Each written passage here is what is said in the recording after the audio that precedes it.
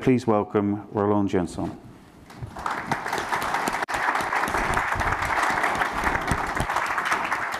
Welcome. Thank you very much. Thank you.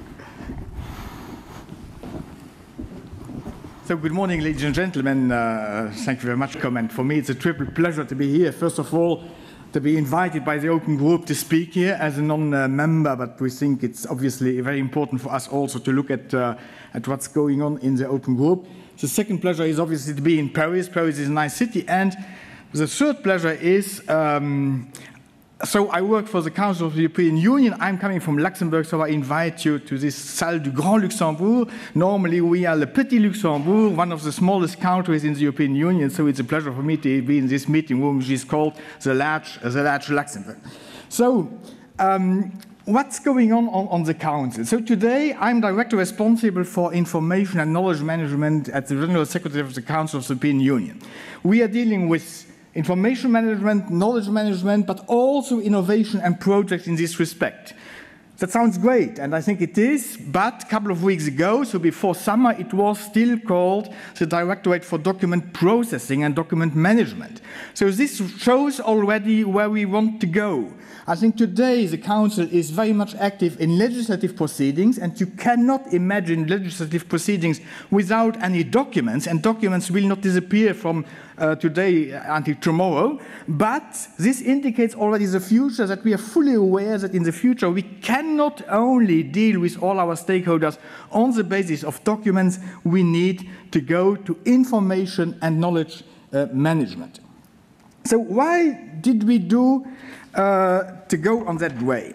First of all, a couple of words on what basically is the Council of the European Union? Most of you obviously know the Commission of the European Union. So the Commission, uh, la Commission Européenne, the European Commission, is the institution which tables proposals for new legislations, which looked at areas where it is necessary to get to European standards, to get to European ways of acting together. So the European Commission makes a proposal, and this proposal is submitted to the Council of the European Union and the European Parliament, both being co-legislators.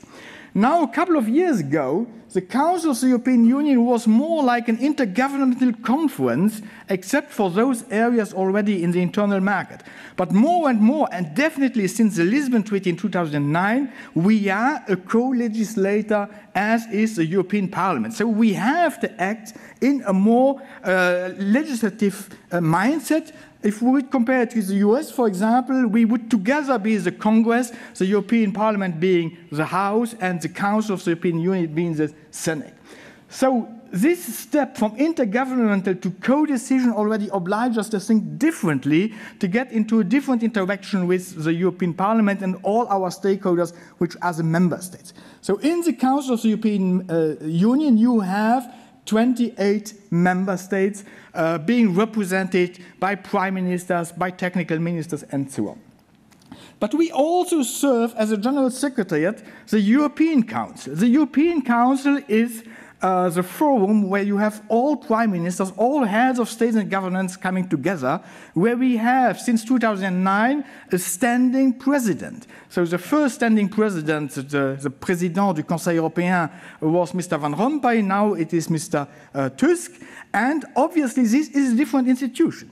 This institution is not active in legislation, in legislative drafting and preparation. This institution is acting in policy shaping at the highest level. And whenever you have a crisis in Europe, you will have the European Council meeting and deal with this crisis, be it in the euro, be it on migration, be it on terrorism, what so on. And so we have also to serve our main leaders in this respect and to provide them with the right information, with the right knowledge in order to be able to assess uh, to assess uh, crises and whatever is dealt with at this highest level. Finally, we have more and more requests from the uh, civil society. So we are uh, supposed to be transparent organization, all institutions, by the way, and we have a regulation dealing with this, and we have to be able to provide whatever sort of information which falls under the remit of that regulation. So we cannot just hide behind facts that, well, we are not organized enough to find files or whatsoever. We need to deliver. And you have more and more NGOs looking at us, looking seriously at the business of the Council of the European Union, and uh, waiting for accountability of, uh, of, uh, uh of the European Union institutions.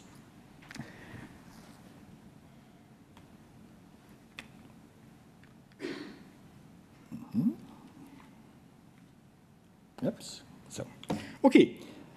So, over, year, over the years, the decision-making process changed, and I think that's not a secret. I think for 10 years now, we are running from crisis to crisis.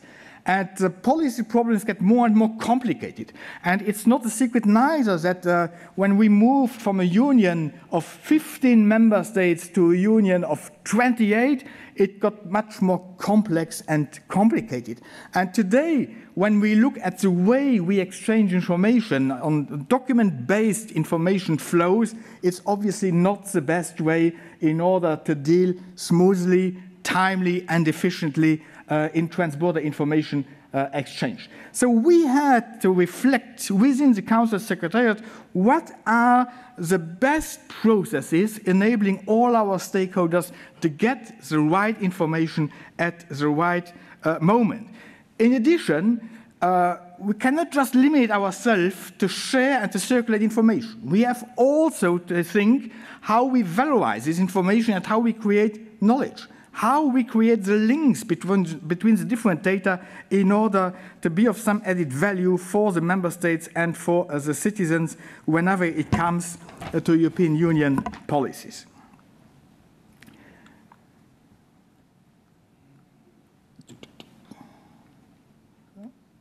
So after the why, so why did we do to do this, I would now go to what are we actually uh, doing.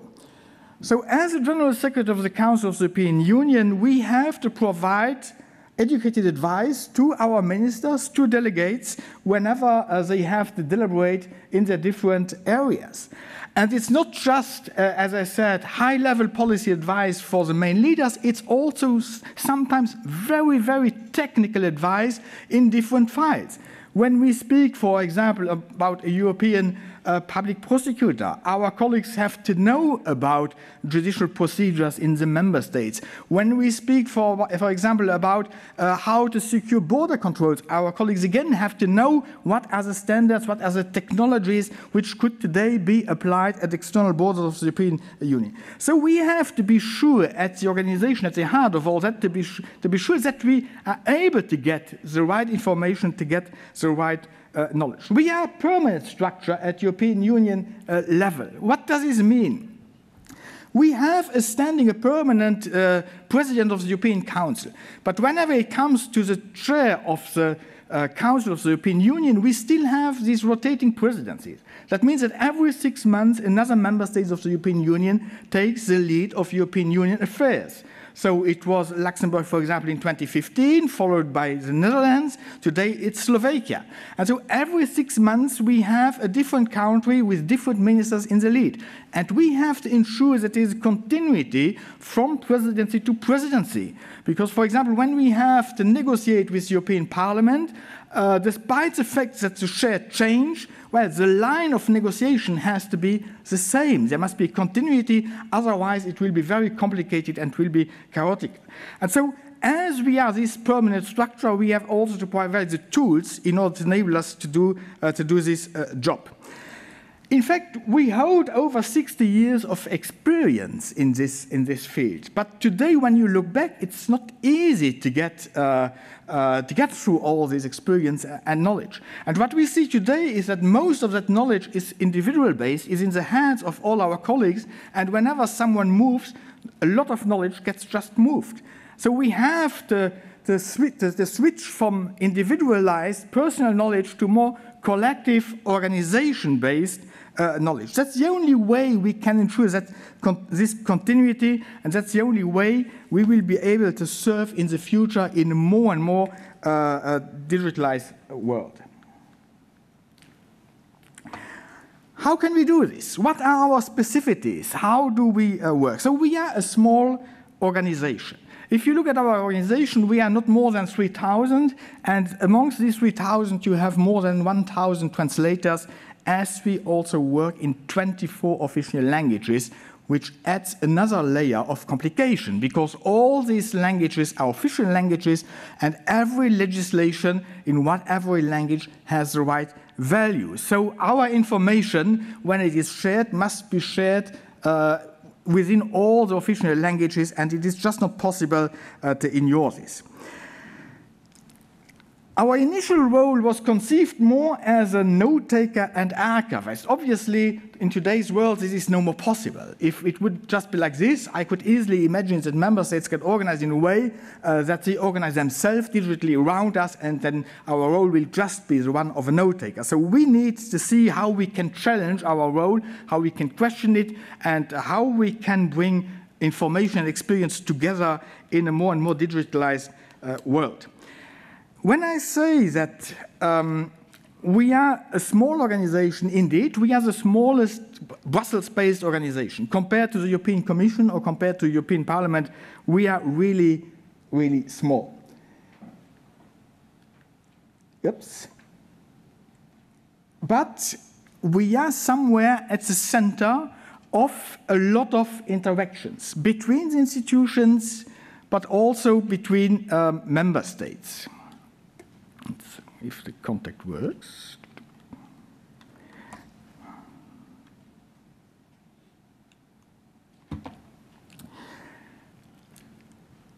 As I said, we are the smallest organization, but this does not mean that we are the smallest institution. That's something I hear very often that when I speak with colleagues from Commission or European Parliament, uh, that uh, Council, yes, we are the smallest institution. Is it, is it really so? When I look around me, in the Commission, yes, we have one president and uh, 27 uh, commissioners, members. We have to serve 28 presidents, plus one president of the European Council, plus one president of the Commission. We have to serve in each member states all ministers. This means that we have to serve hundreds of ministers around Europe. We have to serve all delegates coming to Brussels to meet. Every day we have more than 1,000 civil servants coming from all member states in order to discuss technical issues, to find compromises. If you add all this together, we have to serve several hundreds of political leaders and we have to serve experts in the front row, in the back office, in universities and so on to support all these services. So we easily have to serve a community of three, 400,000 uh, persons. And we have to get this information on, on the right place, in the right time, in the right languages. So you can imagine that we have in today's world to reassess a number, a number of issues. So how can we add context and connections in all the informations which are, uh, which are going to the Secretary of the Council? How can we link the information between the European Union institutions and between the member states? I will say in a couple of minutes, all the member states are in an e-government process, are in a digital government transformation process. We are somewhere in the middle and we cannot just stay aside and look at them without acting or even without reacting. We have definitely to reassess how to manage the need to know we are coming from a world where we only shared information on a strictly need to know basis. Today, it's no more possible. But on the other side, we cannot just share everything with everyone. That's not possible neither. We are still in a negotiation environment. So we definitely have to reassess how we get uh, a, new approach to a need to know in a more complicated uh, world. And we have also to see how we get member states' knowledge together.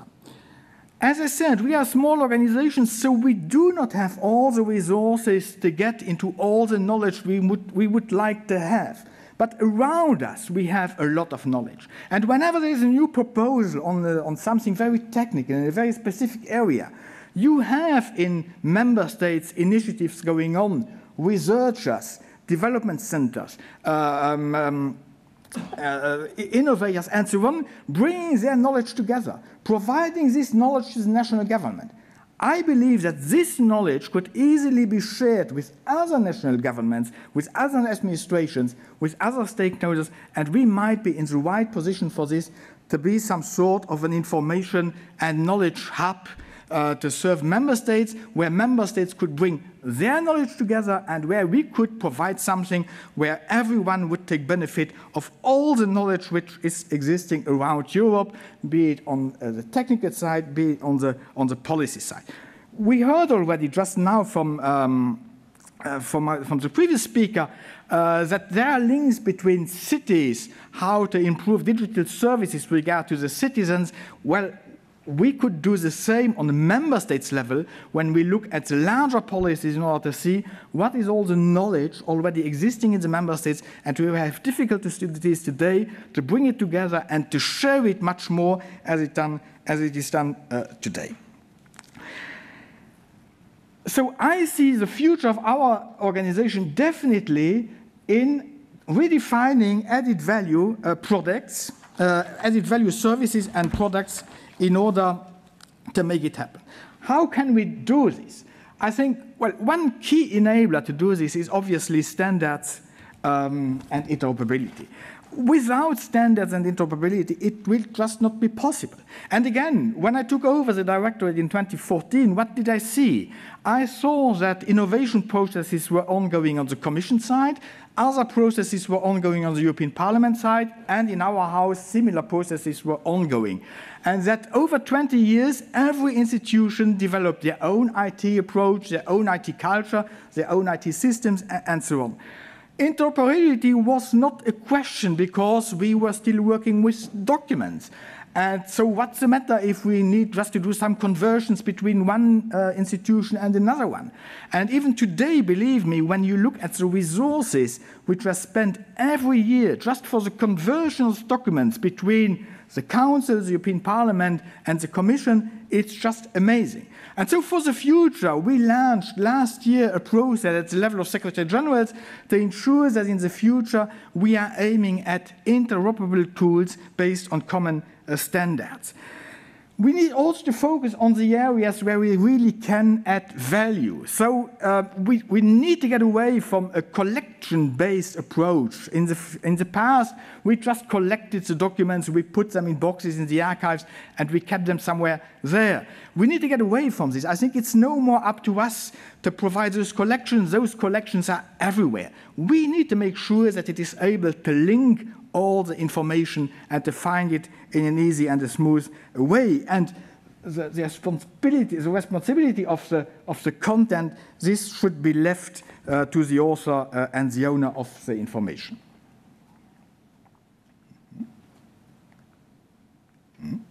So,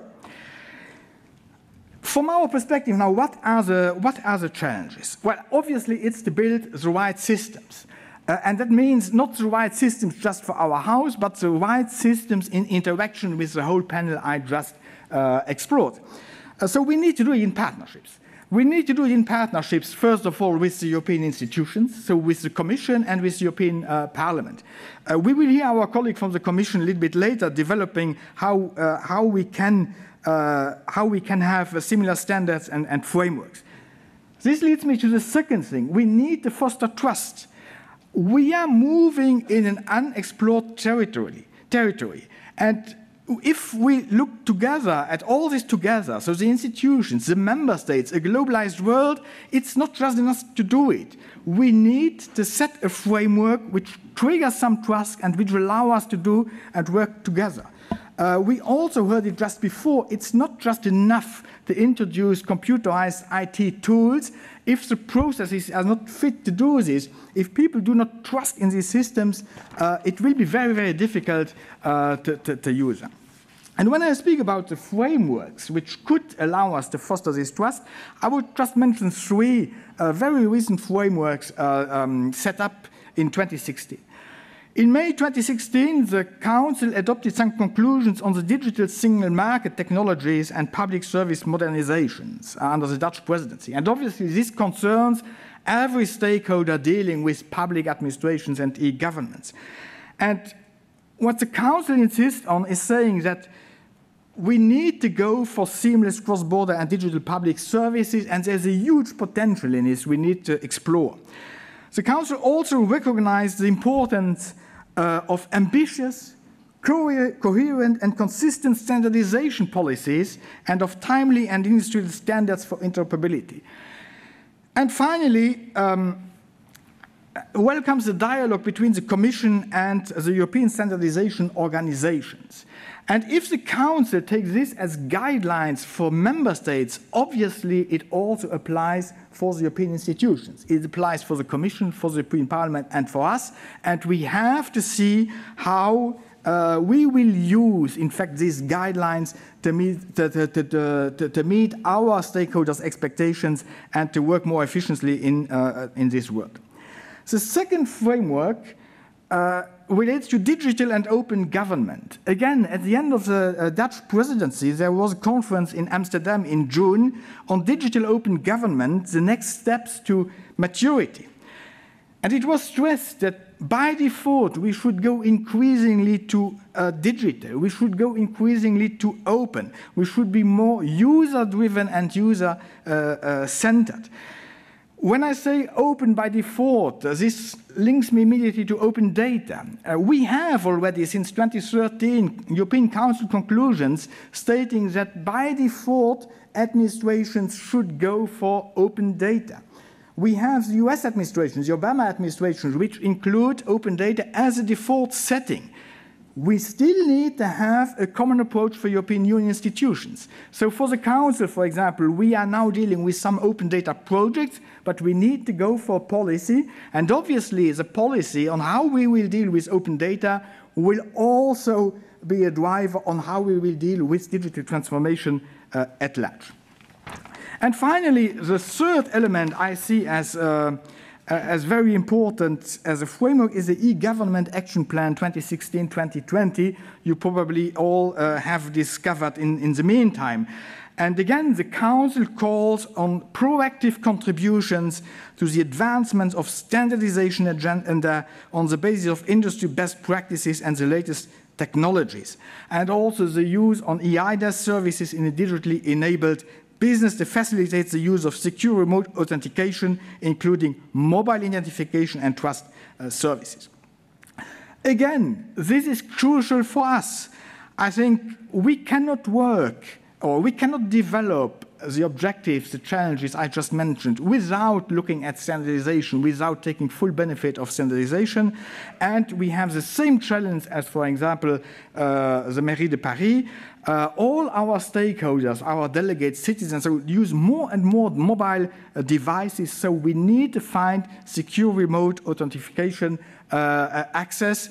Um, I think it's not a secret when I say that in a negotiation environment as the European Union, uh, there must be some sort of confidentiality, so we must be uh, sure also that our information is kept secure as long as it's needed to be kept uh, secure. And so all this um, should enable us to get there. So I would also conclude with what um, uh, Mr. Grégoire just said. Uh, we cannot just do digital transformation for the beauty of the art. It's not because we have the technologies that we have to see how to put them into place. It's a question of acceptance. It's a question that the user sees the benefit uh, he or she has from all those technologies.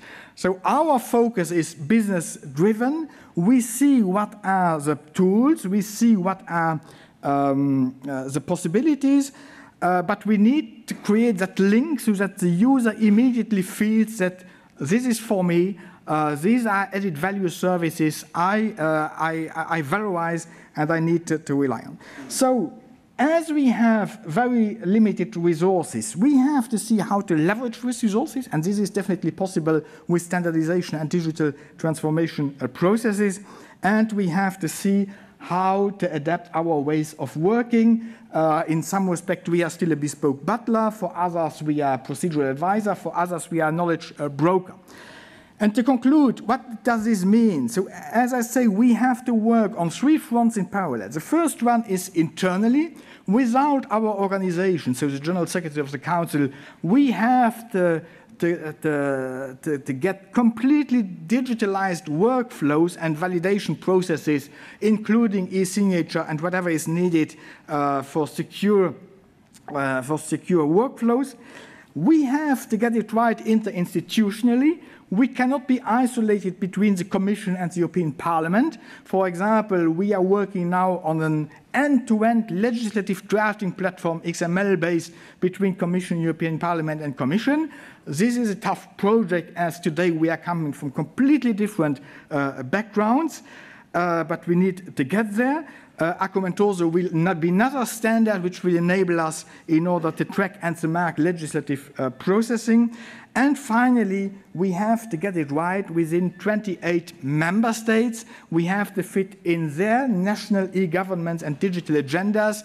It's not us, just us imposing some new standards or tools or whatsoever on member states. No, this time we have to do it in interaction. We have to assess also what are the needs uh, on the other side of, uh, of, uh, of our boundaries, uh, again, I, I, think I can only repeat what I, I heard. We work in silos that it, you always will have limit, uh, limits and boundaries between services, but we need to work in a way so that we become boundaryless in the way our information circulates, and that's our main, that's our main uh, challenge. And I think we will do it together with all our stakeholders. And uh, today we are not member of the open group, but I expect that uh, this will change in the, uh, in the future and um, uh, that there's definitely also a need to work in this forum uh, and this, this will for sure be an added value uh, for us. Thank you very much.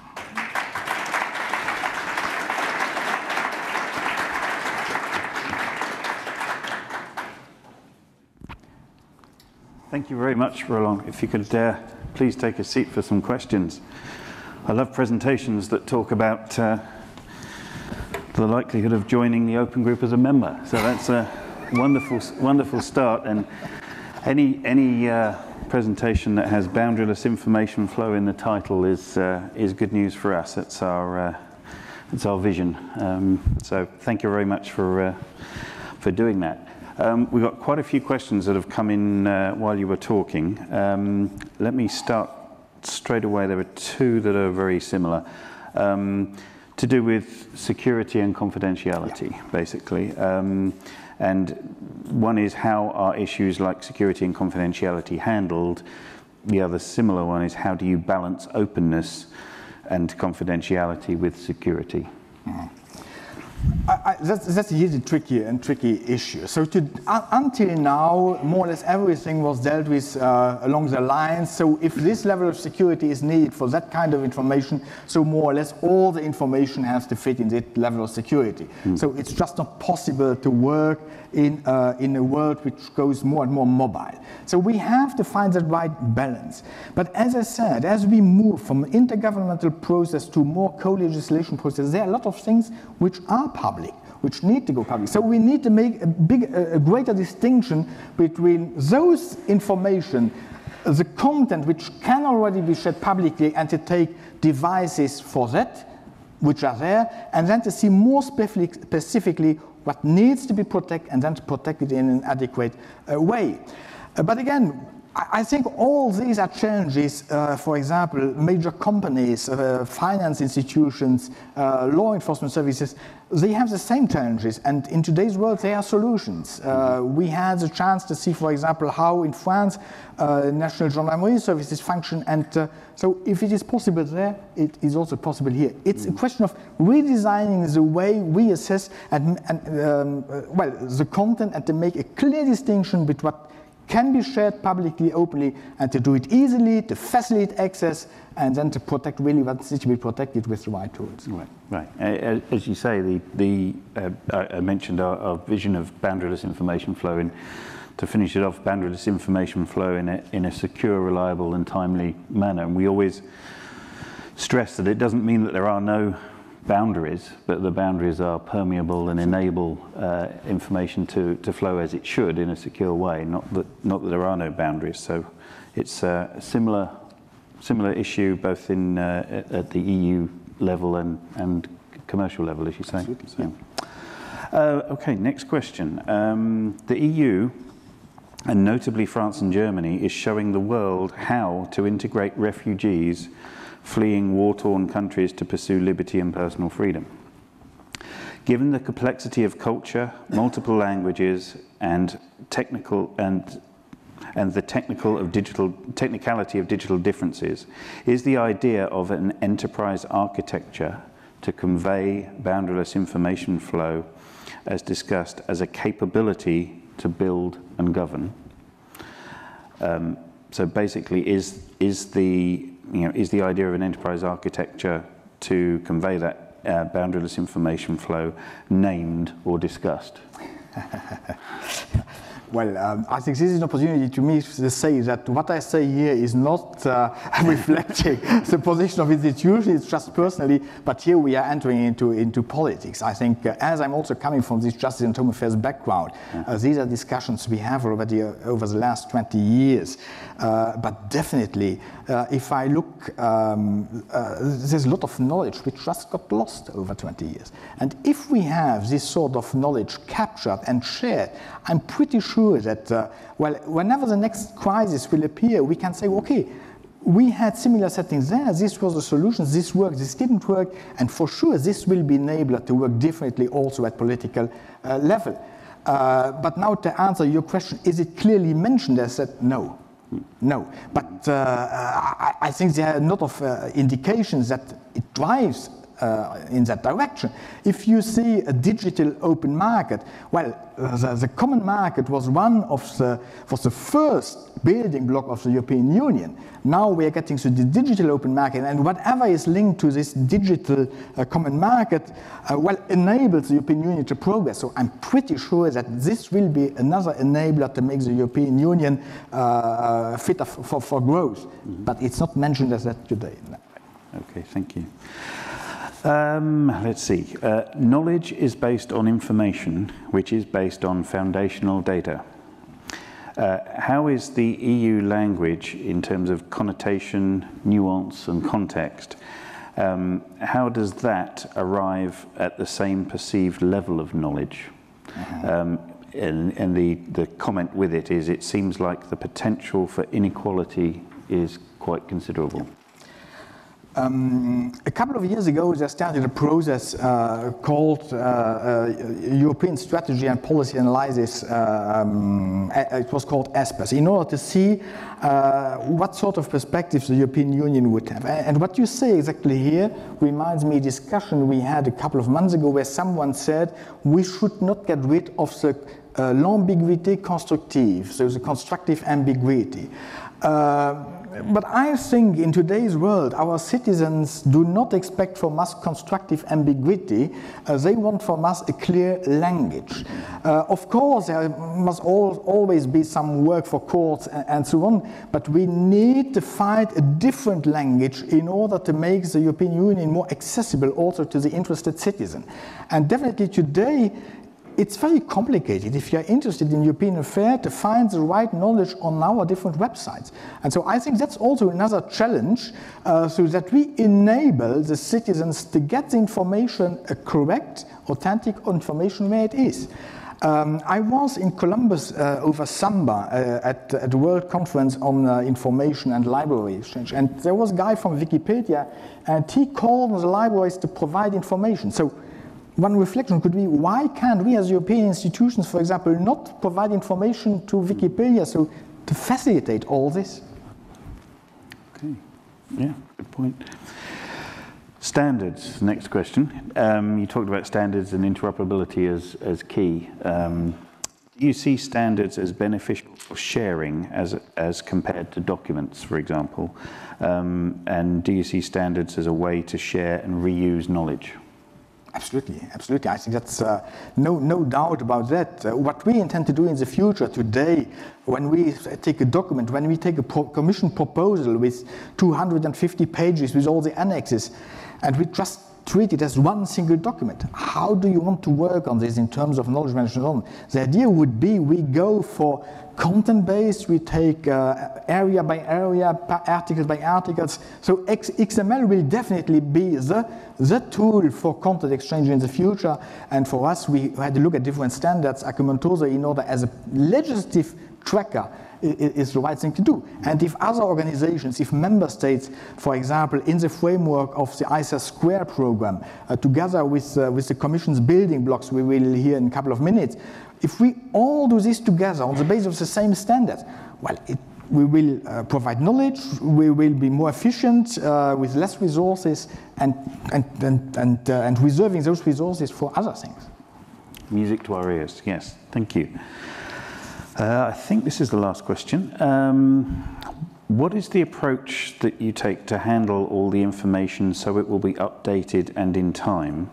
And are you using a reference model to handle this and connect all the data and knowledge together? That's definitely one of the challenges. Uh, today, we are not yet able uh, to deliver information in the right time in a structured way. So if we want to do something in an urgent way, so it's email exchange. Huh? Mm -hmm. And whenever you use email exchange, you will lose things during the process. Huh? And I think that's one of our challenges to find, or the reference model to allow us to be uh, quick and efficient but still organized so that everything remains captured and uh, available for future uh, exchanges and, and but that's one of one of the main challenges mm -hmm. to, to, to tackle. Yes. So a reference model may be something that Absolutely. you that you come Absolutely. to. Okay. And I misspoke. There is one more one more question.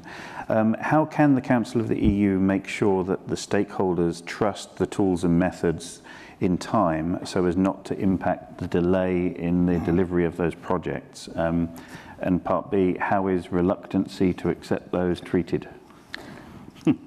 Just one single word, partnerships. Uh, again, over the last years, because it's complicated to set up IT system compliant with all stakeholders, we just developed on our own and we informed, well, that's it, guys.